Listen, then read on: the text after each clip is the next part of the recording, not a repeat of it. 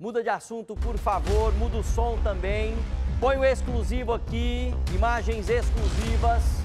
Um homem de 90 anos foi morto e teve o corpo escondido dentro de um tambor. Essa é a vítima. Principal suspeito é o inquilino dele. Não demorou muito e a polícia conseguiu colocar as mãos nele. A forma que aconteceu surpreende. Reportagem na tela do Cidade Alerta. Põe pra rodar. Suspeito preso.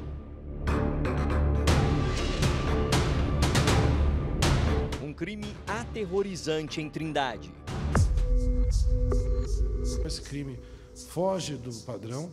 Ele matou uma pessoa de bem, ele matou uma pessoa trabalhadora que trabalhou, viveu 90 anos da sua vida a custo do seu suor para ser mor morto covardemente por um rapaz igual a esse. Geraldo Alves da Silva, de 90 anos, foi morto em casa. O suspeito do assassinato é Alessandro de Souza, de 38 anos. Este homem que confessa o crime. Porque na hora que eu dei mais uma pancada lá, né? Mais duas. Pá, pá. Vídeos que nossa reportagem obteve com exclusividade mostram o momento em que a polícia teve que revirar o barril azul para encontrar o corpo.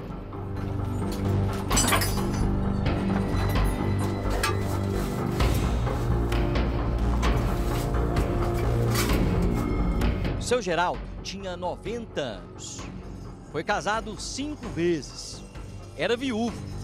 Sempre ali, viveu muito. Acabou enterrando aí todas as esposas. Nunca teve filho. Ele morava aqui na histórica Rua 16 de Julho, em Trindade, uma das primeiras ruas, aqui na região central da cidade. Morava nesta casa aqui.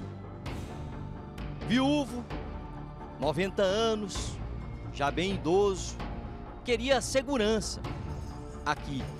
Por isso, ele que já tinha dividido a casa, Douglas Felipe vem aqui comigo, olha lá. Casa antiga, a entrada da casa principal era aqui. Ele já tinha dividido e formado um barracão lá nos fundos.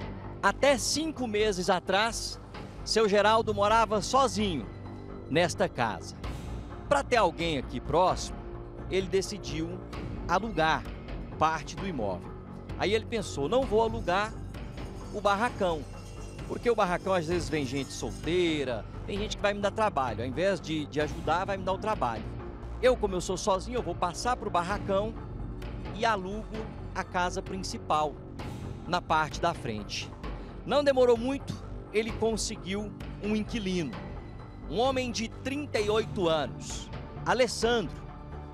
Pela imagem, alguém ali que não representa perigo, parecia ser uma pessoa boa. Só parecia. O Alessandro, acompanhado ali da companheira, uma mulher com uma filha, uma enteada, a enteada dele, uma menina, a filha da mulher, de 12 anos. Parecia que uma família tinha vindo morar aqui. E ele nada de pagar o aluguel. Estava morando aqui com o aluguel em atraso. Vamos para o último domingo, dia da eleição municipal. Logo cedo, o seu Geraldo saiu e foi votar. Quando ele volta, mais ou menos 8h40, aqui ele teria tido, lá dentro, na parte onde o seu Geraldo morava, uma discussão com o Alessandro. Ele teria cobrado o Alessandro os aluguéis que ele estava devendo. Nisso, o assassino, tomado pela fúria, acaba matando o idoso a golpes de pedaços de pau. O Alessandro estava devendo três meses de aluguel, cada aluguel de 700 reais. Então a gente chega numa dívida aí de 2.100 reais aproximadamente.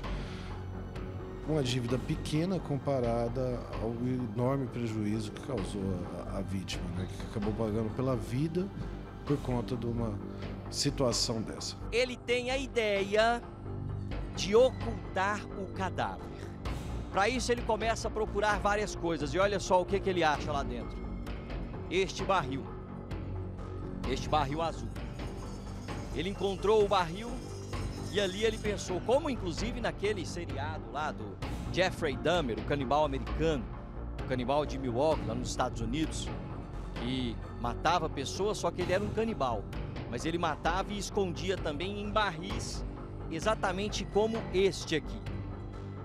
Uma vez colocando ali o corpo do seu Geraldo no barril, ele colocou, e como mostram as imagens, inclusive, com conteúdo exclusivo que a nossa apuração jornalística levantou junto com a investigação policial, imagens exclusivas que você vê agora, ele coloca o corpo no barril, de cabeça para baixo, e vai colocando areia, serragem, esterco e também peças ali, ferramentas, para ficar aquela coisa amontoada e ninguém mexer.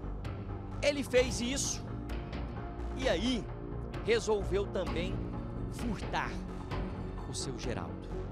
Ele rouba ali cerca de mil reais que o senhor tinha com ele. A polícia agora quer saber se ele matou para roubar ou se ele matou ali na discussão e depois resolveu furtar. Ainda não sabemos se ele vai responder por latrocínio, que é o roubo seguido de morte, combinado com ocultação de cadáver, ou ainda pelo crime de roubo qualificado, homicídio qualificado, combinado com, o, combinado com a ocultação de cadáver.